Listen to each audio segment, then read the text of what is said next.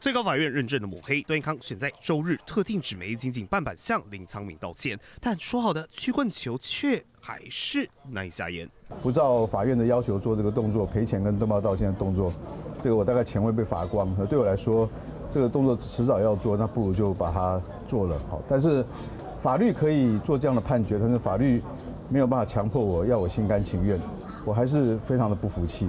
一言既出的诺言，即使心不甘情不愿，本来就一翻两瞪眼，少了法律的强制力。段永康的一百种赖皮理由，听在林苍敏耳里，只有一句形容：小瘪三嘛，就是小瘪三嘛。没有这种品德，该出来跟人家讲什么话了？人要人格品德，连一个人格也没有，品德也没有。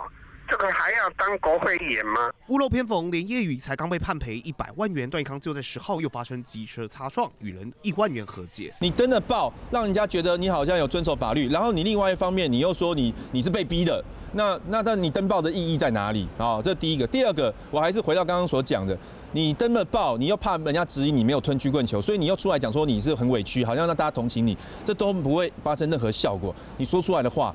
你就要负责。不管曲棍球最后是吞到肚子里，还是耍赖皮，如今看来都将一辈子跟着段奕康如影随形。谢谢台北中报道。